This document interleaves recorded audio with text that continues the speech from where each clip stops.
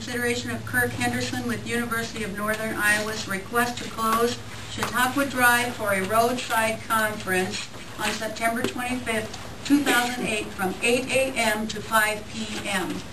Adam, would you like to discuss Sure. that just a little? Certainly, this gentleman and his organization will be bringing roughly 100 to 125 people to town for a conference, roadside workers conference. They have some equipment that they want to show off, and the location that they would like to use to place this equipment is between where you turn at the Chautauqua Building to about the Stone Building area of the Chautauqua Drive area. Um, They're also doing a couple other things in the park area, but um, when they made this original request, I explained to them that they had to do it in writing and that it would have, to- it would be reviewed by the council for approval.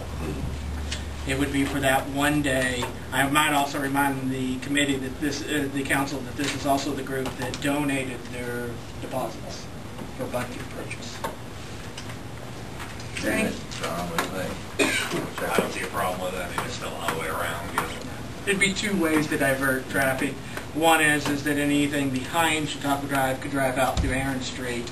And of course, anyone who did want to come north that way could jot across the park and come through the park. um, Oh, okay. So that you wouldn't be blocking uh, uh, traffic from being able to move around in that area.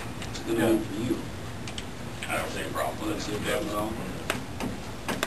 John doesn't have a problem, I don't have a problem. So move we approve it. Is there a second? Second. All in favor, I'll call for Curtis. Quick question first. Uh, Adam said that they donated something. What was that? Buntings. Buntings? Um, The buntings are the, the red, white, and blue decorations that were all around the Chautauqua building over the Fourth of July. How much was that worth? About $150. That's what was depo, that, that was their deposits that they donated to us. Do they not also pay fee to use the building? Yes, they do.